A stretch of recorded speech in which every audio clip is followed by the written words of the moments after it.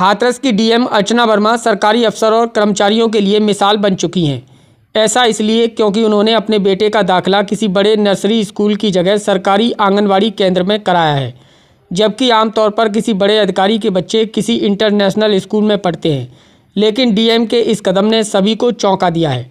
हाथरस की डीएम अर्चना वर्मा के पास एक बेटी और एक बेटा है। उन्होंने अपने सवा दो साल के बेटे अभिजीत का दाखिला किसी प्ले स्कूल या किसी बड़े इंटरनेशनल स्कूल में नहीं कराया है, बल्कि उन्होंने अपने आवास के पास ही गाँव दर्शना के आंगनवाड़ी केंद्र में कराया है। डीएम का बेटा अभिजीत रोज़ गाँव के ही आम बच्चों के साथ कई घंटे बिताता है। उन्हीं बच्चों के साथ कतार में बैठकर आंगनवाड़ी उसे खाना खिलाती हैं। सभी बच्चों के साथ वह खेलता कूदता है। आंगनबाड़ी में सभी बच्चों के साथ एक समान व्यवहार होता है। डीएम के बेटे के दाखिले के बाद वहाँ बच्चों की संख्या बढ़ी है। अब दर्शना के आंगनवाड़ी केंद्र पर चौंतीस बच्चे आते हैं। शुक्रवार की सुबह ग्यारह बजे अभिजीत आते ही खेलने कूदने में मस्त हो गया।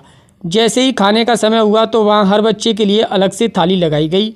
अभिजीत को उसकी आंगनवाड़ी खाना खिला रही थी। दर्शना आंगनवाड़ी केंद्र की आंगनवाड़ी कार्यकर्ती ओम प्रकाशी का कहना है कि अभिजीत तीन महीने से रोज़ पढ़ने के लिए आता है। लेकिन कुछ दिन पहले ही उन्हें पता चला कि वह डीएम साहब का बेटा है। कभी कभार डीएम साहब की बेटी भी उसके साथ पढ़ने के लिए आती है। अभिजीत के आने के बाद कुछ बच्चों की संख्या में भी इजाफा हुआ है।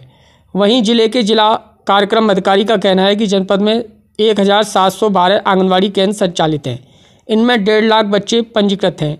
दर्शना के आंगनबाड़ी केंद्र में डीएम मैडम का बेटा पढ़ता है। डीएम मैडम ने अपने बेटे को आंगनबाड़ी में पढ़ाकर सभी को संदेश दिया है कि सरकारी स्कूलों में भी पढ़ाई होती है। अभिजीत भी आम बच्चों की तरह कैंप पर पढ़ता है। ब्यूरो रिपोर्ट, जय हिंद मीडिया नेटवर्क।